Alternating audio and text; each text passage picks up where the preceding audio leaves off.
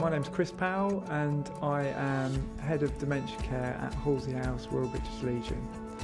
Um, we won last year the award for excellence in dementia care, um, which was fantastic and an amazing achievement for the home and for us.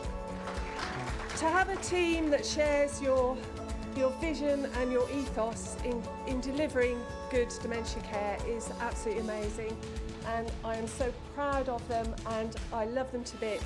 Dementia care um, we're very passionate about and it's you know it's so important to us and um, that our residents are given the correct care and we've got a very specialist team um, which we're very proud of and we're, we're proud of these awards that we've, we've won it's inspired us to go forward and, and move on.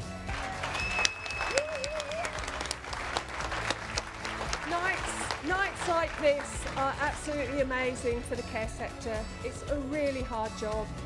The challenges are getting bigger and bigger and we're all winners tonight. You're fantastic. So thank you.